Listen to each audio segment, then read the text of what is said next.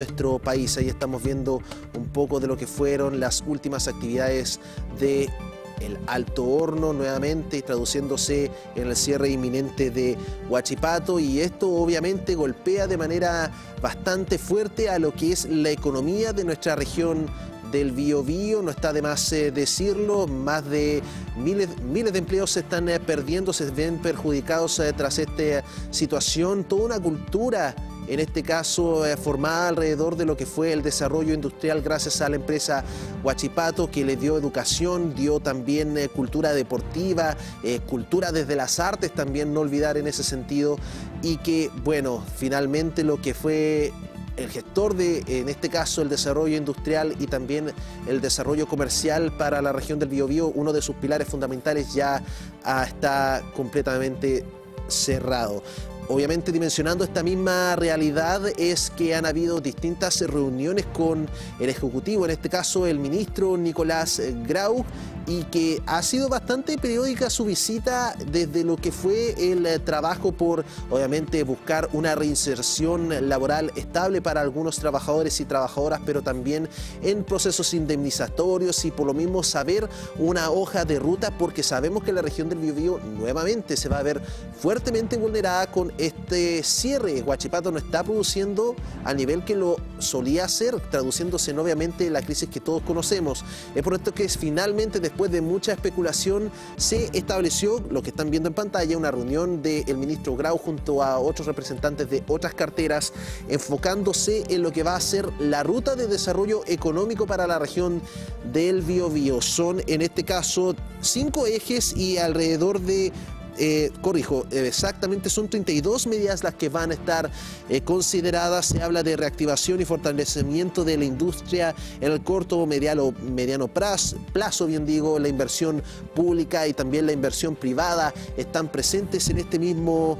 panorama y al mismo tiempo se habla de que en, la, en el eje número 5, que habla de recuperación en el mediano plazo de la producción nacional del acero, se habla del Plan Nacional del Acero Verde para el año 2030. Algunos eh, detalles fueron expuestos por algunas autoridades en un punto de prensa que se realizó en la Facultad de Humanidades y Arte de la Universidad de Concepción. Tenemos esas reacciones, pasemos a escucharlas inmediatamente. Este es un plan que tiene 32 medidas que busca, por un lado, hacerse cargo de los desafíos de corto plazo asociados al cierre de Huachipato, apoyar a las empresas de proveedores, apoyar a los trabajadores. Busca también fortalecer los sectores productivos que ya existen en la región. Busca acelerar la inversión pública, la inversión privada, que el Estado funcione de manera más eficiente y también busca eh, desarrollar nuevos sectores, desarrollar la ciencia y tecnología que se necesita para que una región con la tradición industrial que tiene el Biobío pueda proyectarse hacia el futuro. No los vamos a dejar solos a través del acompañamiento que ha hecho la Dirección del Trabajo y la Ceremi del Trabajo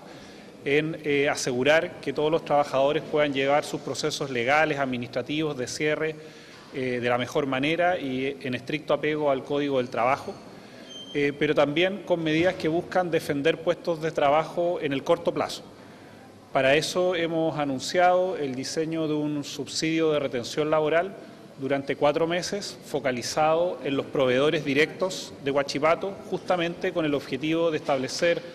un cortafuego que permita no solamente proteger esas fuentes de empleo, sino que también asegurar que puedan mantenerse en el tiempo hasta que buscan otras opciones. Ahí estaban entonces eh, testimonios, eh, palabras de lo que fue esta reunión nuevamente en la misma Universidad de Concepción, donde estuvieron eh, no solamente el ministro Grau, veíamos ahí en pantalla a la ministra de Obras Públicas, también en este caso autoridades de la misma Universidad de Concepción y del gobierno regional, hablando un poco de los mismos ejes. Nuevamente son cinco. El primero, por lo menos,